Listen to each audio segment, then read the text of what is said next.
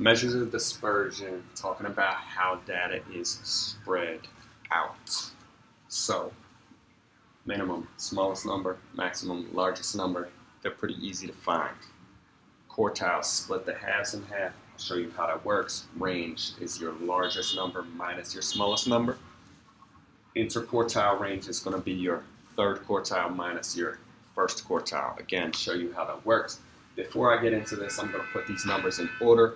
You don't usually need to put them in order just to find minimums and maximums, but you are going to need to put them in order to find the quartiles. So,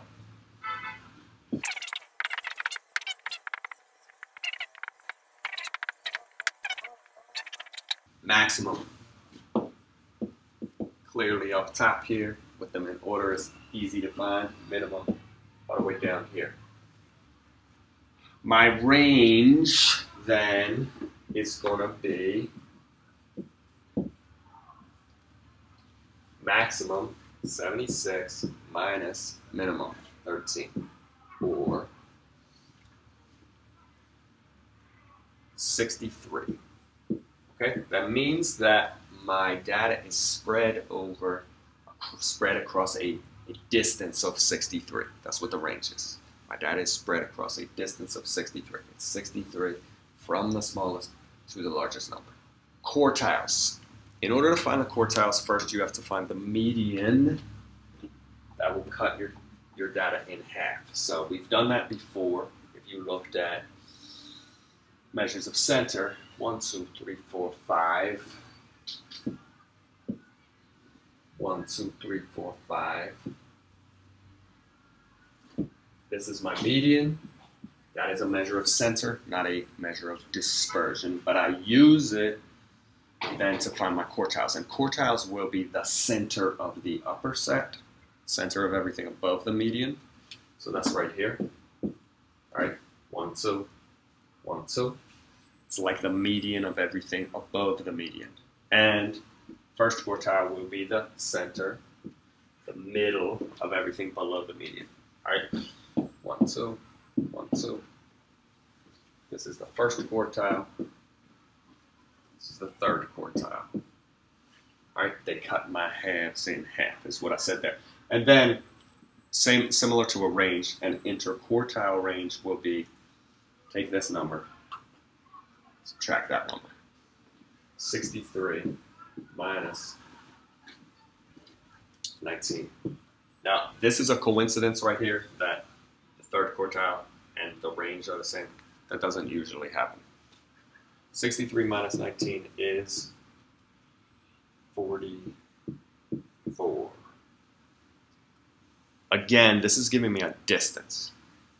The distance from my first to my third quartile is 44. The middle 50% of my data is spread over 44, a distance of 44. That's the information that's given to me, measures of dispersion. Quartiles, split the halves in half after you find a median. Minimum is the smallest, maximum is the largest. Range is the distance from the smallest to the largest. Interquartile range is the distance from one quartile to the other. Another example.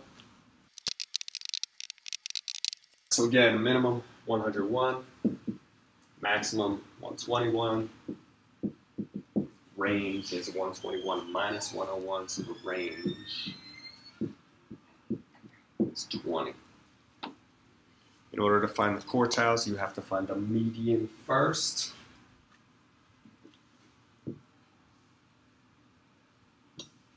That's our median. Similar to the median, if when I am splitting my lower half in half, I end up with two numbers in the center. I want to find a number halfway between them. You can use the formula, add the numbers and divide by 2.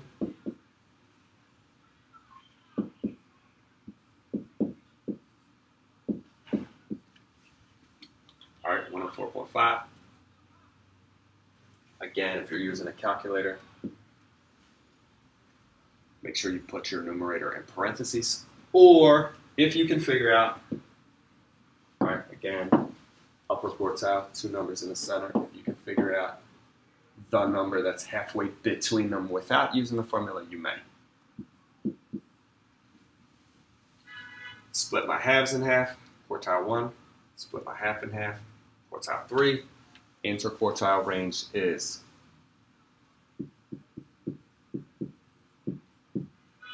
upper quartile minus lower quartile. 117 minus 104.5, 12.5.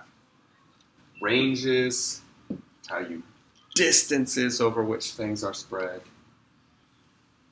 Quartiles split your data into quarters along with the median.